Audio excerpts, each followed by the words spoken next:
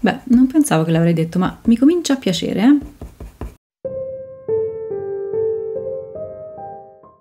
Ciao a tutti, benvenuti in un nuovo video. Oggi vi propongo qualcosa di un po' diverso e come avrete intuito dal titolo cercherò di realizzare un disegno con delle matite colorate che è un materiale che io non amo particolarmente però siccome mi piacciono le sfide ho deciso di farmi aiutare da un artista eccezionale eh, e vedere se riuscirà a farmi amare le matite colorate. Anni fa ho comprato questo set e come vedete è un set enorme che mm, non ho usato molto, l'ho, comprato per un progetto che poi diciamo è rimasto un po' lì e quindi poi non le ho usate granché, tranne l'indaco scuro, questo sì. Perché le matite colorate non mi piacciono? Se mi seguite da un po' avrete notato che a me piace la pittura, soprattutto l'acquerello, la tempera, comunque materiali molto fluidi che presuppongono tanta acqua perché mi piacciono proprio gli effetti pittorici, gli effetti un po' imprevisti dell'acquerello, mentre i materiali secchi si trovano proprio all'opposto perché sono un materiale molto controllato, eh, presuppongono un processo lento, eh, una stratificazione e quindi eh, anche un tipo di procedimento che io trovo un po' noioso. Anche la resa finale, per quanto ci siano dei lavori straordinari con le matite colorate, tipo quelli che vi sto mostrando adesso, non mi attraggono particolarmente. Tempo fa però stavo curiosando su Domestica per scegliere un corso e mi sono imbattuta in questo corso di Marco Mazzoni canzoni e eh, guardando i lavori che fa è veramente difficile non sentirsi attirati da questo modo di usare le matite e poi c'è questo elemento surreale, un po' magico che mh, invece mi risuona molto. Quindi ho pensato ok, non mi piacciono le matite colorate, però mi piacciono le sfide, vediamo se effettivamente riesco a trovare un modo per amarle. Di questo sito mi avete sentito già parlare un po' di volte di Domestica, è un sito in cui trovate moltissimi corsi online, l'accesso è illimitato, quindi una volta che voi acquistate il corso potete seguirlo con i vostri ritmi e tempi, ce ne sono veramente tantissimi, se volete io ho un, un paio di liste con dei corsi che ho trovato particolarmente interessanti o che mi sembrano interessanti e magari seguirò nel futuro, alcuni li ho già seguiti, e sono dei corsi che sono molto spesso in offerta, quindi poi eh, diventano veramente convenienti. Non sono dei corsi eh, molto tecnici, cioè non imparate una tecnica da zero, eh, sono più che altro dei corsi molto specifici e la cosa che io trovo interessante è che siccome sono tenuti da degli insegnanti che sono tutti degli illustratori, artisti professionisti, vi fanno un po' entrare nella mente dell'artista, quindi vi fanno capire qual è l'approccio di quell'artista con quella tecnica. E quindi è molto interessante e molto utile anche per quando uno si sente un po' in stallo, in blocco e ha bisogno di un po' di ispirazione, un po' di motivazione. E ho deciso di darvi anche un ulteriore sconto, quindi se volete usare il mio coupon dura circa un mese, così se vi faccio venire voglia di seguire questo corso o altri corsi con questo video potete acquistarlo scontato. Ma adesso veniamo al progetto di oggi. Allora, io non ho ancora fatto nessuna prova, eh, ho fatto qualcuno degli esercizi preparatori perché eh, volevo lasciare appunto il progetto finale per questo video e regalarvi una reazione un po' spontanea a caldo. Quindi la prima cosa da fare è scegliere il soggetto. Io sono andata a ritirare fuori dei vecchi lavori che avevo fatto anni fa, che sono dei collage digitali, perché c'è questo elemento appunto surreale che si sposa bene con tutto il discorso anche che fa eh, Marco Mazzoni nel suo corso, e ho scelto questo qui lo cambierò un pochino, però sarà il mio punto di riferimento, il mio punto di partenza. Mi sono preparata un disegno eh, veramente molto leggero, non so se riuscite a vederlo perché lo voglio tracciare eh, direttamente con le matite colorate. Poi eh, quello che dobbiamo fare adesso è scegliere la palette, quindi metto un attimo il mio disegno da parte e comincio a pensare alla palette e anche qui non voglio che sia una palette troppo naturalistica, voglio proprio ispirarmi ai colori eh, anche molto fantasiosi che usa Marco Mazzoni. Eh, sicuramente voglio dei toni caldi per riprendere comunque l'elemento della volpe e vorrei alternare un po' colori brillanti e forti con colori un pochino più terrosi. Quando vedo due colori che potrebbero stare bene insieme me li metto da parte. Poi voglio scegliere dei colori che possano essere interessanti appunto sovrapposti. Forse qualche blu scuro potrebbe servirmi se voglio inserire un elemento più cosmico, però non ne sono ancora sicura. Ecco, questa cosa di lasciare un po' al caso il disegno, come faccio con l'acquerello, che con l'acquerello funziona, non so se funzionerà stavolta con le matite. Quindi eh, materiali diversi presuppongono anche un po' una strategia diversa. Questo seppia è molto interessante e si sposa bene con il resto della palette. Quindi questa potrebbe essere la mia palette. Nel suo corso Marco consiglia di fare diverse prove, quindi provo a fare anche una seconda palette così vedo poi quale mi sembra che funzioni meglio. Così adesso sono ancora più indecisa di prima. Allora, devo dire che questi quattro mi piacciono un sacco. Potrei adesso creare una terza per eh, mischiare un po' quello che mi piace dell'una e dell'altra. Ok, deciso. Provo ad andare con questa palette e vediamo che succede. E un'altra cosa che suggerisce Marco nel suo corso è di disegnare, e questa è una cosa molto molto diversa da come lavoro io, una specie di finestrella, quindi non procedere con eh, tutta l'area del disegno visibile, ma con soltanto una porzione del disegno alla volta. Questo lui lo propone perché mh, lo aiuta a mantenere la stessa tensione all'interno di tutto il disegno, quindi anche lo stesso livello di dettaglio. E anche qui, eh, se mi conoscete e mi seguite, sapete che per me è di solito il contrario, cioè io cerco di creare dei punti focali molto definiti eh, all'interno di diciamo, composizioni che sono un po' più sfumate. Prendo ora tutte le mie matite che ho scelto. Questa finestrella la userò non appena avrò ehm, rimarcato un pochino di più il disegno perché così se no non si capisce niente quindi vado a prendere la mia immagine di riferimento e comincio a creare una linea che è già una linea in qualche modo espressiva. Questo mi piace un sacco dei lavori di Marco Mazzoni perché si vede che c'è una linea che da subito parte con eh, sicurezza, con scioltezza e non è una linea che sta attenta a essere precisa e a essere realistica. Quindi sceglierò il mio colore di base, non, non il sepia perché questo sarà per i miei scuri, un colore diciamo un tono medio che potrebbe essere questo, Caput Mortum.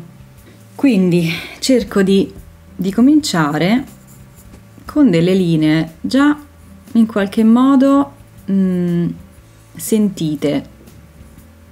Poi anche questa è una, una, questione di esperienza. So che se parto molto precisa, poi è molto più difficile sciogliersi, mentre se do un'impostazione già un po' espressiva, sarà molto più semplice poi seguire quell'andamento là. La cosa che sarà difficile per me è che proprio associo le matite a un controllo e a una precisione, quindi è difficile e fa parte della sfida quello di usarle come uno strumento più espressivo. Un'altra cosa che ho notato quando disegna, Marco non, non solleva spesso la matita dal foglio, quindi crea dei tratti più tondeggianti, morbidi, curvi e poco spezzati. E poi un'altra cosa è che non usa mai la gomma. Questo però secondo me è un concetto poco applicabile per chi non è già un artista affermato e con tanta esperienza. Adesso inizierò con la mia finestrella nella parte che sento un po' più tranquilla perché nella parte inferiore qui ancora non so bene come svilupperò cosa che probabilmente non si dovrebbe fare con le matite colorate però mh, mm, voglio proprio sperimentare quindi parto dalla parte superiore e ehm, adesso sto ancora con questa matita qui per creare qualche segno in più perché appunto mi devo ricordare di stratificarle le matite. Comunque questo metodo della finestra non vuol dire che poi non ci si possa ripassare anche in un secondo momento, però come primi strati procedere un pezzo alla volta. E cominciamo con tutti questi segnetti e segnettini delle matite che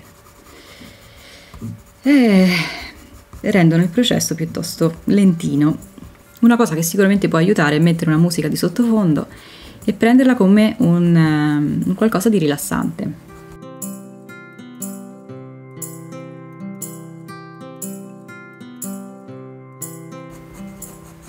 Un motivo per cui non uso questo metodo di fare quasi finire un pezzo alla volta, ma cercare di far progredire tutto un po' sullo stesso livello, è che poi quando leviamo e vediamo che tutto il resto è ancora da riempire, non lo so, mi, mi fa venire un po' meno voglia di andare avanti. Però perché lo sto facendo? Potreste chiedere perché fai una cosa che già sai che non ti, che non ti appartiene? Allora, mi piace cercare a volte di cambiare il mio modo di fare per due motivi. Sia perché ehm, in questo modo spesso riconfermiamo a noi stessi perché facciamo determinate scelte e però si aggiunge la consapevolezza, cioè non è che faccio così perché mi viene spontaneo e basta, ma faccio così per un motivo vedere un metodo di lavoro opposto ci, fa, ci rende più consapevoli sul perché facciamo certe scelte. D'altro canto, invece, può eh, succedere che troviamo quel modo di lavorare interessante. Questo non vuol dire che dobbiamo cambiare totalmente il nostro, ma che possiamo integrarne qualche parte. E questo, secondo me, fa parte del processo di, di crescita e di evoluzione di un artista. Qui io sto eh, procedendo abbastanza mh, mm, al buio, a casaccio e secondo me quello che devo fare è quando trovo qualcosa che mi piace ne prendo nota mentalmente e cerco di, di applicarlo al resto. Per esempio questa sovrapposizione qua con i verdi e con i rosa mi sta piacendo, quindi eh, ne prendo nota. E forse posso già cominciare, già, posso cominciare a spostare la mia finestrella. I punti molto scuri, come dicevo prima, li metterò alla fine. Quando si sposta la finestrella bisogna comunque lasciare un pezzetto in modo che ci si ricorda un po' quello che si è fatto, se no rischia poi di, di ritrovarsi con una specie di collage di parti un, un che non comunicano bene tra di loro.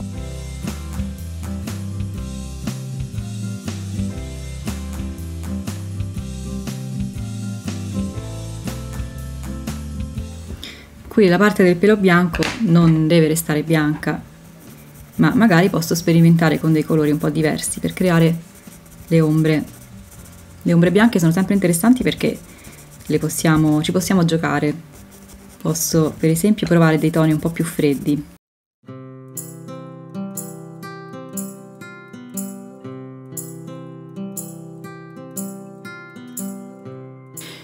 Si può decidere di levare, cedere alla curiosità ogni tanto oppure eh, resistere, però eh, già abbastanza difficoltà così, quindi vedere nell'insieme mi aiuta. Penso che continuerò così, eh, ok, mi forzerò a usare questo metodo della finestra, ma diciamo che non ci voglio stare troppo, non voglio sentirlo finito quel pezzo lì, perché so che ci saranno dei cambiamenti importanti. Ovviamente chi lavora così da tanto tempo ha poi sviluppato dei metodi che funzionano, chi lo usa per la prima volta è anche giusto che lo adatti un po' al proprio modo di fare, quindi anche questo è un consiglio che vi do quando seguite dei corsi, Cercate un equilibrio tra applicare le regole che vi sono state insegnate e poi però infrangerne qualcuna perché siete consapevoli della vostra, anche della, del vostro grado di esperienza. Mm, devo essere sincera, non sto pensando troppo a cosa creeranno, a quali colori creeranno le tonalità che sto sovrapponendo, cioè sto andando un po' a, a intuito perché mi piace anche avere dei toni un po' sorprendenti.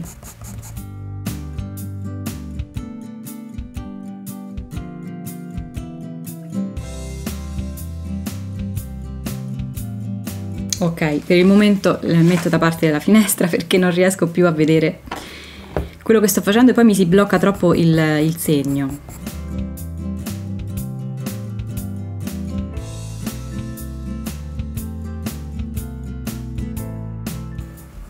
Qui la pelle comincia a cambiare, quindi cerco di, di cambiare anche il tipo di tratto, meno spezzato però ancora non so bene cosa sto facendo.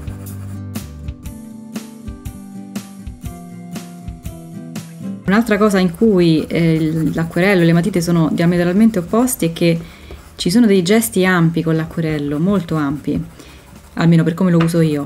Con le matite ci sono tutti questi piccoli tratti, uno vicino all'altro, e quindi faccio un sacco fatica a creare un, un senso anche di unità. Questo non, non so che cosa sia. Forse in questo caso mi conviene dare un tono di base e eventualmente tornare dopo con dei tratti più espressivi. È fondamentale, devo cercare un modo per divertirmi, perché altrimenti se non mi piace quello che sto facendo, non mi diverto e poi non può venirmi bene. Ecco, creare dei tratti già un pochino più nervosi, un po' più veloci, già mi, mi dà un po' di ispirazione in più. Più conoscete il mezzo che state usando, più riuscite a trovare un modo che funzioni per voi.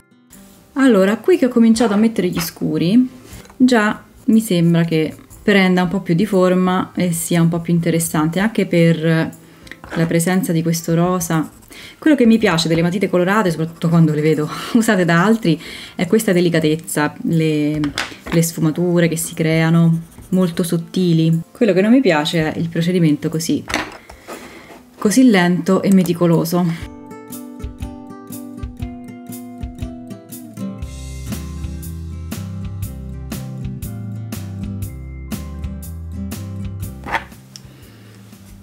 Vorrei provare a fare un po' di di mettere un po' di azzurrino sulle punte delle orecchie sto cercando proprio quegli elementi che me le fanno amare di più le matite, quindi eh, i sottili cambi di, di tono, di sfumatura, li trovo molto affascinanti. Quindi non si può dire che io non stia provando fino all'ultimo ad amare questo materiale. Sicuramente una cosa che ho visto fare a Marco Mazzoni è procedere per velature molto sottili, cioè non so se si chiamano velature con le matite colorate, diciamo per strati molto molto sottili, cosa che io non ho assolutamente la pazienza di fare. E quindi sto creando un riempimento un po' pieno per i miei gusti. Però se non comincio a vedere, mh, mm, prendere forma quello che sto facendo, perdo veramente tanto interesse. Non so se vi capita anche a voi.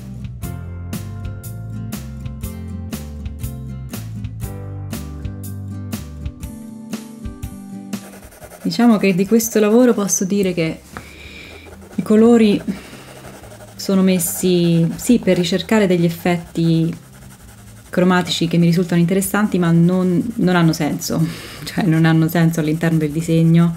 Questi sbuffi azzurri li voglio portare un po' in giro perché è un elemento che, che crea un pochino di dinamismo e come forse avrete notato sto cercando disperatamente di trovare dei punti di interesse in questo disegno.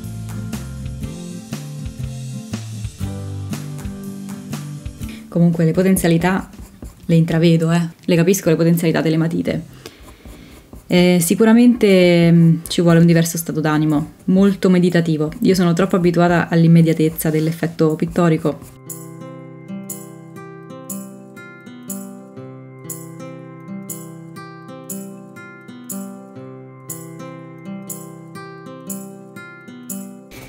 Eh, io sto un po', eh, sto cominciando a esaurire la mia voglia di fare questo disegno, quindi quando è così accetto che devo cambiare un attimo il mio approccio.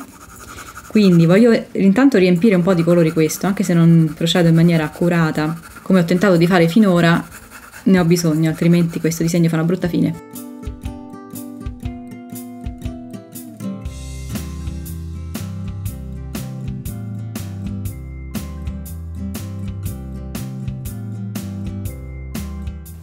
Comunque c'erano veramente troppi colori. Io quando uso troppi colori mi destabilizzo, non riesco a mantenere l'eleganza nella stesura dei, dei colori. Quindi se di questa cosa ne sono ben consapevole con l'acquerello, qui ho pensato che una palette troppo limitata fosse un problema. Adesso sinceramente non lo so, non so che pensare. Però quando si, si mette eh, poi uno strato scuro come sto facendo adesso, in realtà la palette si comincia a armonizzare perché si sovrappone a quei toni che magari sembravano un po' troppo casuali. Adesso, eh, allora, come fare quando si ha un disegno del genere e non si sa come andare avanti? Lo osservo e vedo quali sono i punti che mi piacciono di più. Quindi ci sono dei punti in cui ehm, che secondo me funzionano di più perché c'è più contrasto, il colore funziona meglio, quindi seguo quelli e appunto cerco di capire cosa ha funzionato per poterlo poi estendere ad altri punti del, del disegno. Ad esempio qua comincio a riproporre questi, queste linee molto più scure e, e, i punti importanti che sono poi per esempio quello dell'occhio, quindi adesso mi dedicherò un pochino all'occhio andando a calcare molto di più di quanto ho fatto fino adesso.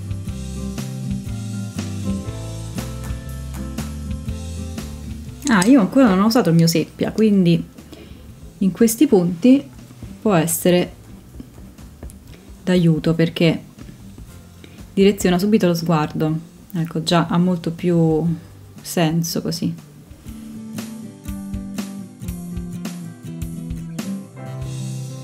I punti scuri dovrebbero essere un po' quelli che vengono messi alla fine, però eh, è, è, può essere utile farli in un momento in cui si è in stallo, quindi non per forza alla fine, ma in un momento eh, critico del, del processo pittorico. Poi questa matita scura può aiutarmi anche a rendere la palette un po', un po', più ordinata, perché ok, volevo mettere gli accenti di colore, ma c'è un gran macello, quindi posso provare anche a dare un tono unico in alcuni punti per unificare sempre un po' ad esempio il rosa lo posso mettere qui e insistere con diverse sfumature sempre un po' calde. Perché il problema che ha questo disegno in questo momento è che è molto piatto. Cioè io lo trovo piatto. È tutto un po' indeciso. Cioè, io trovo proprio faticose le matite per creare il contrasto anche. Veramente una gran fatica. Però ecco così con un tono un po' più uniforme di base già forse ha un po' più senso non lo so. Faccio la stessa cosa qua sotto con un tono più uniforme per dare un po' il senso di massa perché sennò ecco quello che odio delle matite colorate è che eh, escono fuori questi colorini e questi tratti un po' separati l'uno dall'altro è difficile dare una sensazione di, di, di, un, di un, oggetto tridimensionale con, con, un po' di massa, con un po' di sostanza, ecco. Ok, pure queste strane cose eh, stanno funzionando un po' di più. Eh, quindi comincio a vedere piano piano la fine.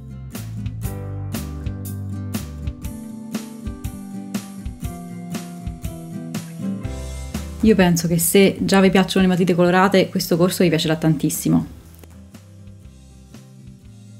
Comunque sicuramente è d'aiuto fare un piccolo studio senza che sia un disegno completo. Però stavolta, siccome già sapevo che cioè più che altro era una mettermi alla prova, volevo fare questo esperimento così eh, quasi in diretta con voi. Da qui in poi comincia quel balletto mentale del è finito o non è finito.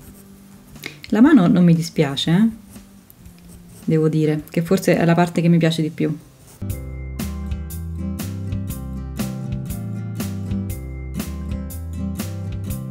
Beh, non pensavo che l'avrei detto, ma mi comincia a piacere, eh?